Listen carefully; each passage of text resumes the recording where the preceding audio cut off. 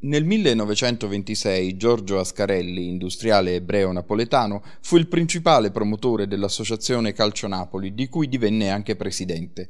Finanziò la costruzione di uno stadio nei pressi della stazione centrale, che dopo la sua morte gli venne intitolato ma quando nel 1934 l'impianto fu scelto per disputare alcune partite dei mondiali di calcio, gli organizzatori ritennero inopportuno far giocare la Germania di Hitler in uno spazio dedicato a un ebreo e lo ribattezzarono semplicemente Stadio Partenopeo. Otto anni dopo l'edificio fu distrutto dai bombardamenti alleati.